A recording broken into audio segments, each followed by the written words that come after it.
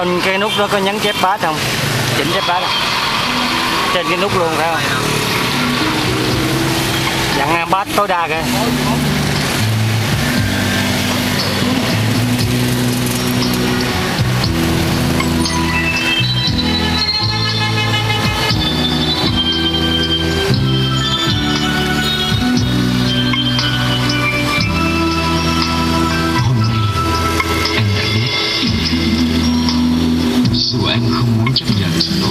Cho cái dĩa này luôn nè phải không?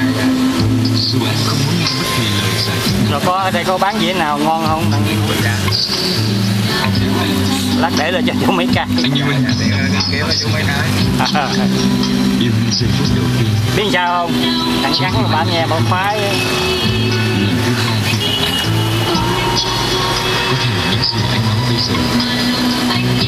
ếch sảy à, đẹp ghê chưa? Âm thanh rồi hay nữa phải à. không có màn hình 比较轰动一些。啊